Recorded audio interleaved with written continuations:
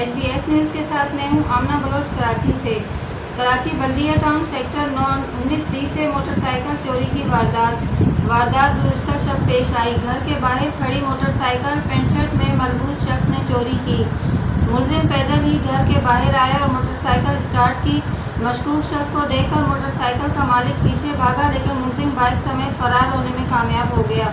वारदात के हवाले से मदीना कॉलोनी थाने में मुकदमा दर्ज कर लिया गया। अब तक के लिए इतना ही। मज़ीद ख़बरों और अपडेट्स के लिए देखते रहिए